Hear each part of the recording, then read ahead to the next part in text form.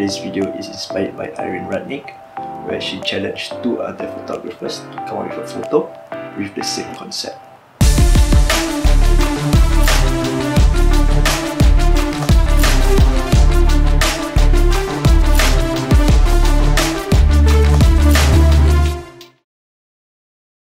For this video, I put up a challenge to two of my fellow photographers, Danial and Rafie. They are both very talented photographers, so do check them out on their Instagram and YouTube after you're done with this video. So, the concept for this video is light and shadows. The three of us, me, Danial and Rafie, will have to take a self-portrait with the overarching theme of light and shadows.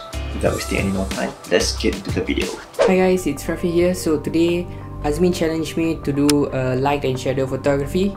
So I was walking around my house and looking for a shadow, um, light source that coming through the window, but all I have is uh, very little shadows and I tried to use props to create the, the, the shadow effect on the face, but it don't seem to work because the light is not strong enough. So I walk around and I saw this uh, very high contrast where where the curtains uh, make the room dark but there was a, a, strong light source coming from the side of it. So I take advantage of that and uh, I try to do some portraits using that, that spot. So I try to control the light source coming from the window by using the curtains to block out the amount of light that comes through so the more the more I close the the lesser light it goes uh, through the window. So the key of this is to to have a side lighting uh, so which means that you will light only the side of your face leaving the other side uh, darker. So that is the the aim and look which I go for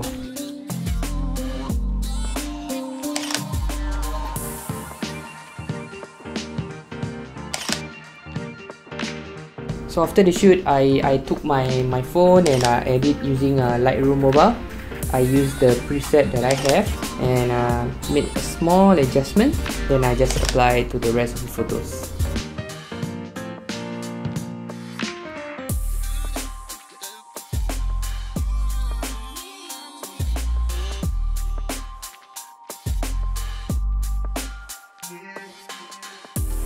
Hey guys, my name is Danial and in today's self-portrait at home with the theme of light and shadows, I'll be doing a close-up portrait of probably just this my face and let's go. So firstly, equipment talk, I'll be using my Sony a7 Mark III with 85mm f1.8 and since it's at night time, um, it's easier to create shadows and I'll be using some of my flashes um, to cast some light. Okay, so what I got over here is a Godox AD200 strobe flash and these two are equipped with two color gels. So one is blue, one is orange to give um, that kind of uh, different mood to your photo. So it's also to give you the um, typical orange and teal kind of look. So I will probably change color or do some different shapes and stuff.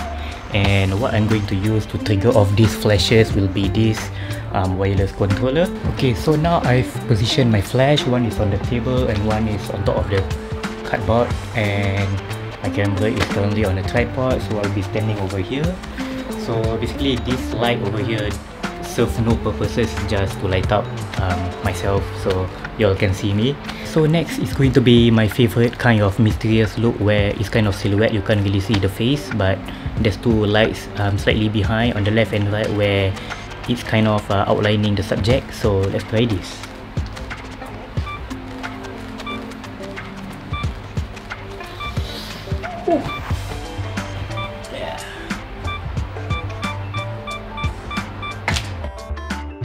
okay kind of work let's try a few more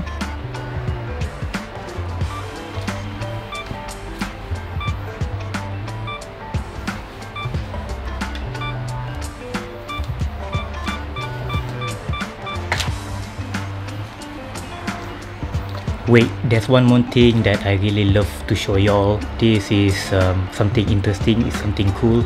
Basically, I'm gonna take off this flash and manually um, trigger. And what I did to the camera setting is actually change it to long exposure. So it will be a multiple exposure kind of photo. So let's do it. So I set the exposure to 4 seconds and I can trigger this like 3 times maybe. Let's try it.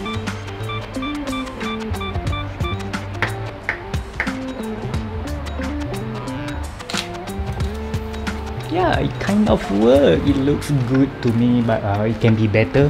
So this is uh, something different if you wanna step up your uh, portrait game studio shoots and stuff. So yeah.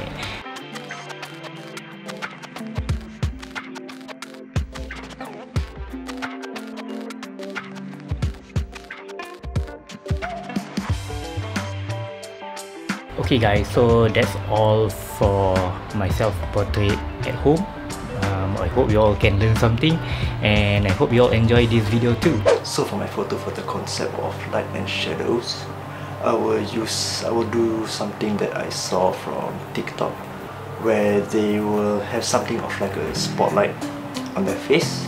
So how we do that is by using a light from your phone or flashlight and then we'll just put either kitchen kitchen roll or toilet paper right in front of light so it will come out with a light that looks something like this, a very circular and very harsh light. Now I have a bit of uh, ambient light this side. So when I take the photo, I will turn off all the lights and just have one light coming from my phone. So in the photo, it will be totally dark with just the spotlight, spotlight lighting up the subject, which is me. I will be using my A7 Mark II camera with my 35mm lens. Um, I'll be controlling my camera using my phone using the wireless app. Since I will be using my phone to control my camera I will need to use um, a different source of light. So for this shoot I'm using a running headlight. It does not work as well as the light from your phone but for this shoot this light will do. I am using the Imaging Edge app for Sony to remotely control my camera I'm shooting at f2.8 and at shutter speed of 1 over 80th of a second. I'm able to use a slow shutter speed because the camera is mounted onto my tripod, so I won't have to worry about camera shakes. It also helps that I'm controlling the camera using a remote app.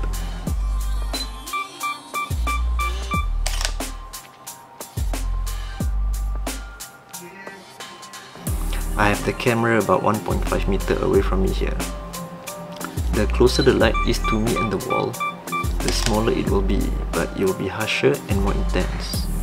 So do adjust the distance of the light accordingly to your preference.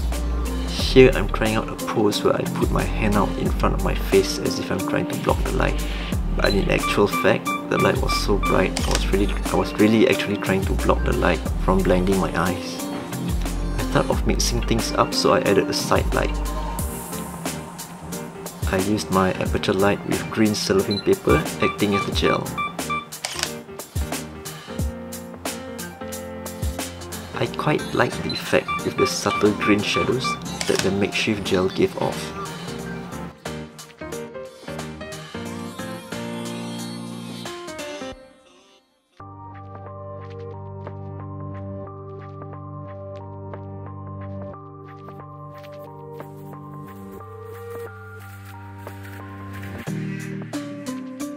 So this is it. I hope you all enjoyed the video and you guys managed to take a few tips from me and my guests today. Don't forget to give it a like and subscribe to my channel. And if you feel that you have any photographer friends who might be interested in the video, just share this with them. Also, be sure to check out Danial and Rafie's pages. I will link them in the description below. If you have any idea for the next concept challenge, leave them in the comments. I would really love to see what you guys have in mind. Bye and see you in the next video.